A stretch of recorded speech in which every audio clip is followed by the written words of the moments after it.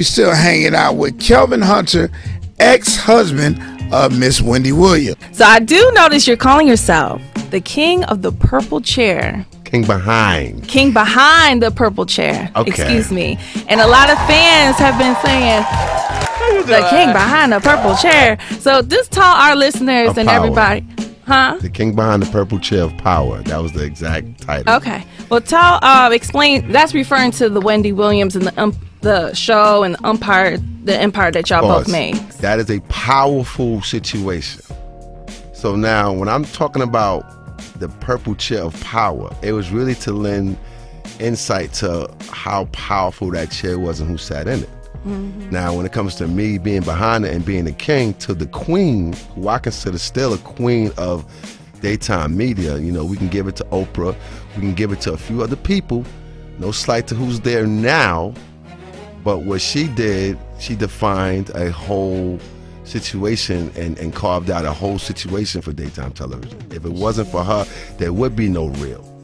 The real, you know, no disrespect to those women, but they only existed off of Wendy controlling that time block for Fox Television, which was powerful within itself. She did not come from or was cultivated from any um, any beginnings. Uh, like you see most of the daytime people, like Kelly Ripa, she was all part of the, uh, the uh, daytime soaps, and they did uh, uh, sitcoms with her. And they, Ellen was the same way, and we can go on and on. Wendy came from radio, this room, Right. where it's theater of the mind.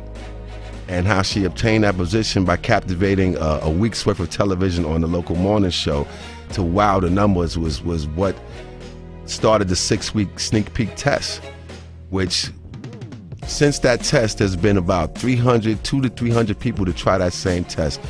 The Kardashians, Kris Kardashian, you name it, you name it, you name it. Wendy was the only person to succeed in that test. The real did with the telepictures television behind them, but they wanted to position her that show behind Wendy because Wendy was so strong. So now, thus coming back to the title, Purple Chair Power is just that. Me being the king behind the queen to help uh I want to say the right words.